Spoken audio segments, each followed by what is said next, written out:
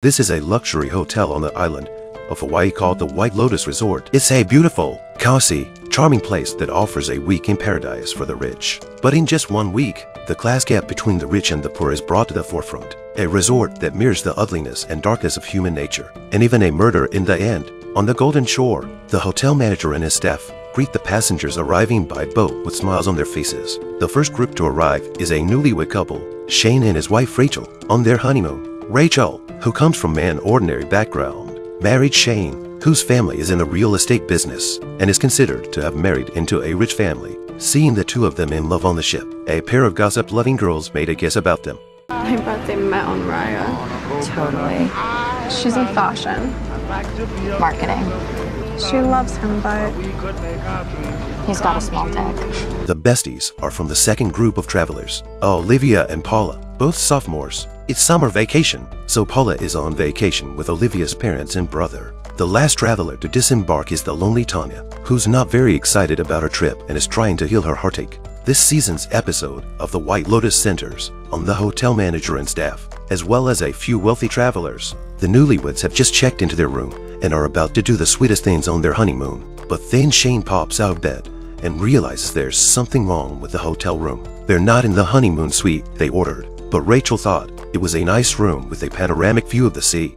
This is like the swankiest hotel room I've ever stayed in. Yeah, but you haven't traveled that much, so. Even though Rachel was embarrassed by his disapproval, she chose to calm her husband down so as not to ruin the honeymoon. She then accompanied her husband to the hotel manager and told him that his mom had booked them a suite with a pool, and apparently the hotel had made a mistake. But after checking the records, the manager said that they did not get the wrong room, and the manager specifically emphasized that Shane is now staying in the best suite in the whole hotel, which made Shane temporarily put off the idea of changing rooms. After the couple left, the manager immediately began to teach the staff about the case. That is, no matter what time to let the guests feel that they received the best service, but it was the manager's mistake that caused the guests to double book the honeymoon suite. And they didn't realize that this time, the guest he met was not an easy one to solve. The woman took off her shirt to reveal her sexy body and walked slowly into the pool. The two girls on the shore were mesmerized by this scene and looked at her for a while. Just now Rachel came to the pool alone and met the two girls who had arrived at the resort on the same boat as them today. But she didn't know that the two girls already had tinted glasses on her. Bored, Rachel chose to strike up a conversation, but the girls wanted to find out if Rachel was the gold digger they suspected. Where'd you meet him? Through friends? not Raya. Raya? No, not Raya. What do you do? I'm a I'm a journalist. Oh. Apparently, Rachel's reality is very different from what they thought she was based on her appearance. After asking several questions, they confirmed that Rachel was indeed married to a rich man. Yeah, he's super hot. Congrats. Do you two go to school together? The two of them don't really want to answer Rachel's questions. Rachel realizes that this conversation can't go on any longer. She took off her coat and let the girls admire her gorgeous body. Back in the room, Rachel tells her husband about the two rude girls she met. Turns out Shane is obsessing about the room again. He's already confirmed with his mom that they booked a honeymoon suite with a pool, and the hotel manager lied to him about it. Rachel is clearly not happy about this. She seriously tells Shane that if he continues to obsess about it, their honeymoon will be ruined. Shane realizes that his wife is upset and stops for a while. After enjoying a romantic dinner with an ocean view, the newlyweds finally had a perfect first night of their honeymoon, but the next morning they had a new problem. Rachel received a job message asking her to write a report as soon as possible. Shane is dismissive of the request and asks her how much she'll be paid. A few hundred dollars. No way. Mom, no. But Rachel is a freelance writer, and if she keeps turning down assignments, there's a good chance she won't be asked to write again. Yeah, but what? You're on your honeymoon. You're gonna hole up in the hotel room, just write some disposable garbage? It's not garbage. Yeah, fine. Shane thinks Rachel's work is pointless, and since she's married to him now, she doesn't need to work for money. As a husband, he can offer his wife a good life. You're my wife. Come on. Welcome to the rest of your wonderful life. Before Rachel can respond to that, Shane catches up with a passing hotel manager and shows him the order, information that his mom passed on to him and continues to argue with him about the room. The manager had no choice but to apologize to Shane and admit that he did have the wrong room. But the couple in the honeymoon suite left the same day they did, so he couldn't kick them out. Since I can't get you the other room, um, I'm hopeful there's some other way we can make this up to you. Let me think on it. Shane didn't appear to be bothered, but he soon found the couple in the honeymoon suite. He found out that the manager had lied to him again because the couple was leaving in two days. Shane thinks the manager must be trying to make things difficult for him. I call my mom, see if they were fond of the difference between the rooms.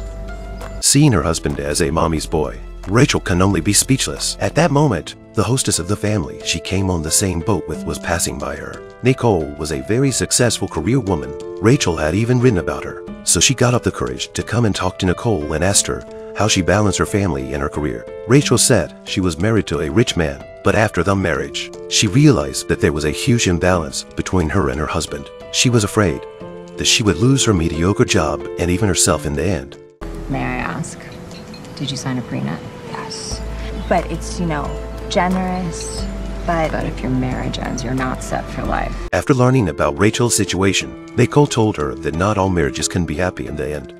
Your power is your independence. Don't give up your power. okay. Well, thank you so much for talking to me. At dinner, Rachel solemnly tells her husband that she will not give up her mediocre job and asks Shane to respect her choice. Apparently, Shane didn't approve of his wife working on her honeymoon. How about this? Whatever they're paying you, I'll double it. You can get paid to have fun on your honeymoon. With me. In the end, Rachel turned down the magazine's offer because she was on her honeymoon. But she didn't know that when she compromised the first time, there would be countless others. The woman's water suddenly broke at work, but she couldn't let anyone know because it was her first day at the hotel and the manager didn't know she was pregnant. All day long, she had to endure the pain of welcoming customers. In order not to lose her job, she could only stagger to the restroom. When the manager stepped out of the desk and stepped on the amniotic fluid on the floor, he thought it was someone's vomit and immediately called the cleaning service. As night fell and the manager was busy serving dinner to the guests, the housekeeper came to tell him that the new waitress was giving birth in his office. Why didn't you tell me you were pregnant? I'm sorry. I needed work. The waitress is forced to give birth in the break room. Outside, wealthy travelers are enjoying their lavish dinners in the beautiful night sky, talking about love and peace. It's a dramatic yet normal scene at the White Lotus Resort. Tanya, a wealthy woman, arrives at the resort on a healing journey and brings her mother's urn with her. The main purpose of her trip is to scatter her mother's ashes in the ocean, which she loves, and to heal her own broken heart. So Tanya went to the massage room first. Since all the masseurs were fully booked today and Tanya's needs were urgent, she was treated by Belinda, the spa manager. Unlike a regular massage, Belinda first talked to Tanya face to face so that she could let go of her guard and pour out her emotions. Belinda then laid Tanya down and gave her a head massage. Tanya's eyes became wet with tears as the mystical Hindi scriptures brought a moment of relaxation and peace to her mind. Tanya was very impressed with Belinda's unique experience. She thanked Belinda for her service and gave her a generous tip. From that day on, Tanya asked Belinda to serve her only and even invited her to have dinner with her. But according to the hotel's rules, staff are not allowed to interact with guests on this level. But as Tanya insisted, Belinda couldn't resist, so she agreed to go. At dinner, Tanya asked Belinda if she wanted to start her own business. Lucas, I would be down for funding something like that. With such an enthusiastic guest, Belinda was clearly interested in her proposal, but she didn't realize that to a rich man, it was probably just a casual conversation.